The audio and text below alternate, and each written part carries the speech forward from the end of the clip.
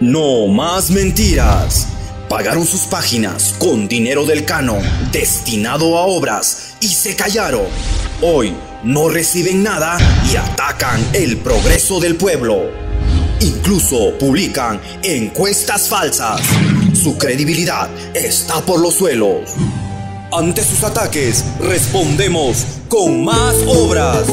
Inauguramos un tomógrafo de 16 cortes, el más moderno de la región, para el diagnóstico preciso de enfermedades de quienes más lo necesitan. Con solo 150 soles, a mitad del costo de clínicas particulares en el Hospital Regional Docente de Enfermedades Neoplásicas. La tomografía dejó de ser privilegio de algunos, ahora es para todo el pueblo.